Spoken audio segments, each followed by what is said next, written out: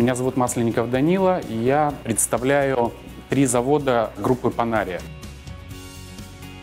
Ресурс Арчер, ну, по моему скромному мнению, такого всеобъемлющего ресурса совершенно точно нет ни в России, ни, может быть, даже и в Восточной Европе. Некоторые фотографии, которые вы здесь увидите, я прошу прощения, я уж воспользовался, так сказать, вашим интеллектуальным ресурсом. Основной материал, который мы продаем, да и, пожалуй, единственный, это все-таки настенная керамика.